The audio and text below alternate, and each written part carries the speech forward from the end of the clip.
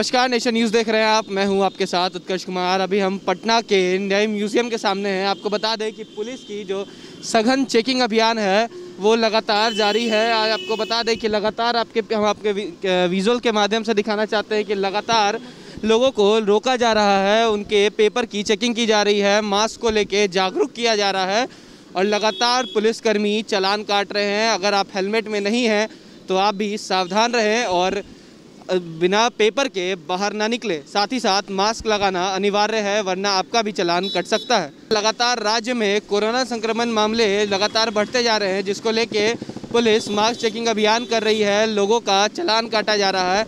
ऐसे ही तमाम खबरों के लिए बने रहें और देखते रहें नेशन न्यूज़। धन्यवाद।